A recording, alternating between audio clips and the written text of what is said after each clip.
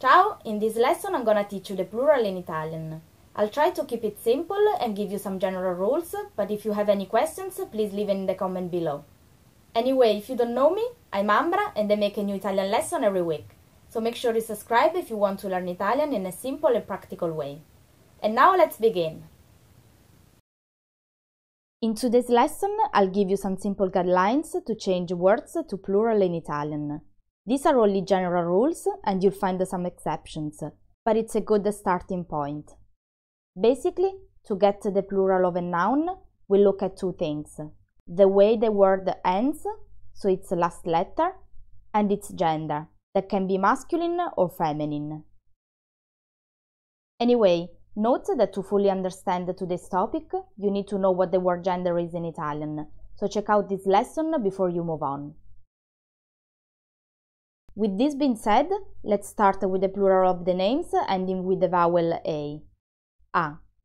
If they are masculine, in the plural they will end in I, E, while if they are feminine, they will end in E, E. Let's look at some examples. These are all masculine words. Problema, which is the problem, becomes problemi. Pilota means pilot, and in the plural form is piloti. Then pigiama, that's the pajamas, becomes pigiami. And pianeta, which is the planet, in the plural is pianeti. Problemi, piloti, pigiami, pianeti. These are instead the feminine names. Porta is the door and in the plural is porte. Sorella means sister and if you have more than one you have to say sorelle. Palestra is the gym and its plural form is palestre. And the last one is tazza, cup, that in the plural becomes tazze. Porte, sorelle, palestre, tazze. Let's see now the names that end with the vowel E, which in Italian is E. These are very easy because in the plural you always replace the E with an I, no matter the gender. So for instance, cane is the dog and becomes cani in the plural. Colore means colors and in the plural is colori. Then we have fiumi, that's the plural form of fiume, which means a river. And last example, piede is the foot, but feet is piedi. Cani, colori, fiumi, piedi. The following words are feminine, but in the plural they also end in I. Chiave is the key and Chiavi are the keys. Stazione refers to the train station and in the plural becomes stazioni. Ape means bee and its plural is api. Then stagione is the season and stagioni are the seasons. Chiavi, stazioni, api, stagioni. The next group of words is even easier. They end in I and in the plural they don't change. Generally they are feminine and not so popular. Let's see some examples. As I said, there are not many masculine words in this category, so I'll only give you one example, which is brindisi. Brindisi means toast. As you can see, it doesn't change in the plural. Brindisi. Let's move on to the feminine words that are more common. Here you are. Analisi, that's the analysis. Analisi. Crisi means crisis. Crisi. Ipotesi, which is a theory. Ipotesi. Finally, metropoli is for referring to a very big city. Metropoli. Analisi crisi, ipotesi, metropoli. The words that fall in the next category are generally masculine and they end with the vowel O. In the plural form, they change the O to an I if masculine, while the feminine names can get an I or keep the O, where the second option is the most likely. Let's clarify with some examples. The following words are all masculine and hence they'll end with an I in the plural form. For instance, Libro is the book and becomes libri. Negozio means shop and in the plural is negozi. Bacio is a kiss and if you give many, they are baci. Then gatto in the plural is gatti and means cat.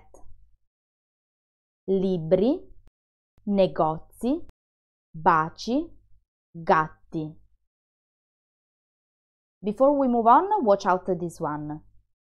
Zio, zio, that's the uncle. In the plural is zii, zii. Okay, let's go ahead with other examples. There are not many feminine words ending with an O. Anyway, these ones are pretty common. Mano is the hand and in the plural becomes mani, mani. The next three don't change in the plural form. Foto, metro, moto. These words mean photo, underground, and motorcycle. Mani, foto, metro, moto. Let's move on to the nouns ending in ka or ga, which are usually feminine. In the plural form, they keep the hard sound, and that's why you need an H in between the C or G and the vowel. Look at the following examples. As I said, typically the names in this category are feminine, however this is a common masculine word. Collega, collega, in the plural becomes colleghi, colleghi, refers to a male colleague. The feminine words in this group are definitely more, and here you are some examples. Mucca is the cow, and in the plural becomes mucche. Amica means a female friend, and if you have more than one, they are amiche. Tartaruga is the turtle, and tartarughe is the plural. Then we've seen already collega that becomes colleghe if refers to female colleagues. Mucche, amiche, tartarughe, colleghe. We are almost there. Don't give up now. The next ones are only masculine and they end in co or go. In the plural, they can either keep the hard sound and end in ki and gi, or they can get a soft sound, which is chi and g. Let's see some examples. First, we look at some words that keep the hard sound in the plural. Gioco means game, and its plural is giochi, giochi. Bosco is the wood, and in the plural becomes boschi, boschi. Then lago is the lake and laghi are the lakes. Lago, laghi. Albergo means hotel and its plural form is alberghi, alberghi. Giochi, boschi, laghi, alberghi. These other examples instead lose the hard sound in the plural form. Amico is a male friend and in the plural becomes amici, amici. Medico means a doctor and its plural form is medici, medici. Psicologo is the psychologist and if they are many they are psicologi, psicologi. Finally, asparago is the asparagus, and in the plural you say asparagi, asparagi. Amici, medici, psicologi, asparagi. Okay, we've done the hard part. The last ones are very easy. When the last letter always a vowel has an accent, then the plural is the same as the singular form. So look at the following examples. They don't change in the plural form.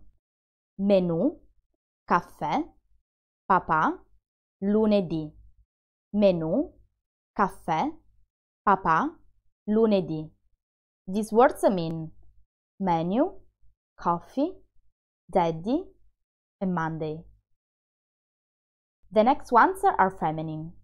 Città is the city, età means age, novità is the news, and verità is the truth. Città, età, novità, verità. Finally, the last group is for words that end with a consonant.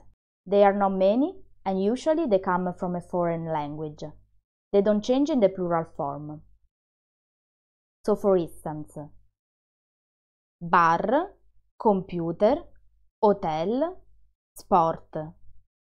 A bar is a coffee shop and the other words mean the same as in English. Bar, computer, hotel, sport. To finish up, I just want to mention a couple of exceptions. Here they are. Uomo, uomo means man and change completely in the plural, that is uomini, uomini. Braccio, braccio is the arm and its plural is braccia, braccia, not bracci uovo, uovo, which is the egg. In the plural is uova, uova, and not uovi. Finally, dito, dito is the finger, and fingers is not diti, but dita, dita. Uomini, braccia, uova, dita. Okay, that was definitely a lot. So check out the description below for a summary of this lesson and if you have any questions, please leave in the comment below. Okay, this is all for today's lesson. Thanks so much for watching. If you want to know more about Italian grammar, you can check out my previous videos on this playlist here.